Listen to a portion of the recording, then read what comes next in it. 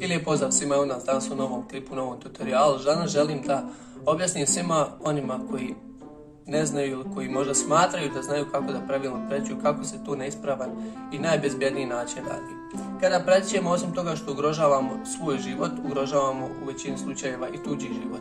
Što vozila koji prećemo, što vozila koja nam dolaze iz suprotnog pravca. Da se to ne bi dešavalo, da bismo sveli tu na neki minimum, znači ću vam kroz tutorial objasniti neki par pravila koja vjerovatno niste naučili u autoškoli, koja možda niste čuli od drugih ljudi i na koji način se pravilno i ispravno pretići. Postoji nekoliko grešaka prilikom preticanja vozila. To sam primijetio kroz dugogodišnju upravljanje vozilom, što su mene drugi ljudi preticali i shvatio sam zapravo da dosta ljudi i ne poznaje pravila na koji način se pravilno i e, sigurno pretići, ako se sigurno može, može nazvati bilo koje preticanje.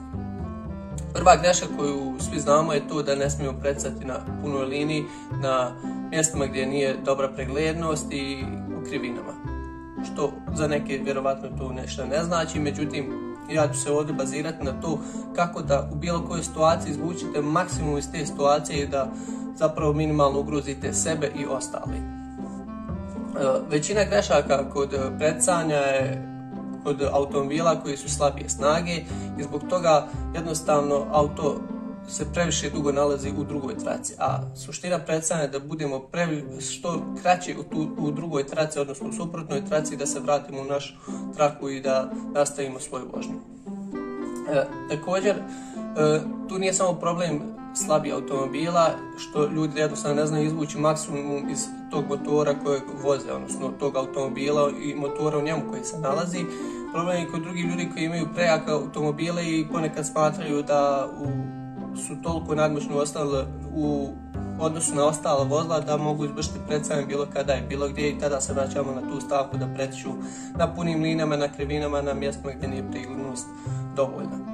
Da se to ne bi dešavalo, e, danas ću vam objasniti na koji način je najbolje da pretičete bilo koje vozilo. E, prva greška koju možemo uraditi kada se nalazimo na nekoj razdaljini od recimo 5 do 15 metara, što to je po meni neki optimum koji ja smatram da bi se trebalo, mislim s kojim većina pretiče, što je pogrešno, ja objasnit vam i zašto. Zbog toga što kada krenete iz ove tačke gdje je recimo ovdje 15 metara, ovdje neke 10, ovdje neke 5, nebitno, kada sa ti tačaka krenemo predsati, vidite mi smo previše u drugoj traci, što nije e, sigurno ni malo i trebamo izvršiti rad tako da što manje budemo u drugoj traci da se vratimo u našu traku. Dok kada smo u situaciji ovdje, jednostavno predugo se nalazimo u ovoj traci i predugo nam vremena treba da smo zaobišli ovo auto i vratili se u našu traku. Ispravan način da pretičemo je taj da se što više približimo ovom automobilu, ali ne dovoljno blizu da bismo u slučaju kada krenemo predsati zakačili slučajno ovdje auto, ali trebamo u svojoj vlastitoj procjeni da budemo što bliže automobilu koji pretičemo. Također, ovo pravilo je za jedan automobil i ne preporučujem nikada da prećete više od dva automobila više od jednog automobila istovremeno, osim u situaciji kada ste baš baš sigurni da to možete uraditi ili kada ste baš baš sigurni da vaše vozilo može to izvršiti što brže i što jednostavnije. Druga greška koju ljudi mogu napraviti je da kada dođu u ovu poziciju, čak i kada se približe ili kada još gore kada krenu odavde, da svoj motor e, kako bih rekao, opterete na to da nabija obrtaje. Odnosno da su u ovoj poziciji recimo ispod 2000 obrtaja kada naš motor nije u svom maksimalnom potencijalu.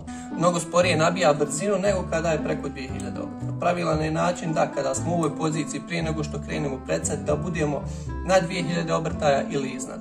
Pogotovo u slučaju SDI motora ili benzinaca. Znači, kada iz te situacije sa 2000 obrtaja krenemo iz ove tačke predsad, naše vozilo će mnogo bolje ubrzavati, mnogo brže će postići određenu brzinu i mnogo brže ćemo mi preteći automobil i vratiti se u početnu poziciju, što je krajni cilj. Druga jako bitna stvar prilikom predstavljanja je ta da uvijek moramo imati u vidu da iza nas koji nisam stavio ovdje vozilo, ali može biti iza nas vozilo također, koje može krenuti u predstavljanje i nas i vozila koje je ispred nas.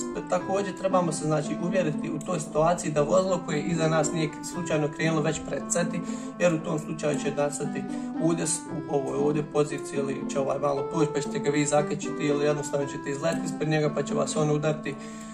U svakom slučaju moramo biti obzirni što se toga tiče i primijetio sam da dosta ljudi zapravo to ne gleda i gleda samo sebe i svoju poziciju i jednostavno samo gleda kako da pretekne, a ne gleda da li neko vozilo iza njega već vrši takvu radu. Također šta je još jako bitno, da kada se vozimo nekim lokalnim, regionalnim putima gdje nije brzina veća od, ne znam, 80 km na sat, je da tu radnju uvijek vršimo u što manjoj brzini. Kad kažem što manje, to ne znači da ćemo presati u prvoj ili drugoj, nego da se vodimo time da u ovoj poziciji budemo na 2000 obrtaja i da kada već krenemo predsati da ne, ne prebacujemo u veću brzinu. Zbog toga kada, jer to smo već svi trebali da znamo, kada prebacimo u veću brzinu, automatski će obrtaj pasti, automatski će izgubiti motor svoju snagu i automatski će sporije ubrzavati, što će nam usporiti tu radnju preticanja.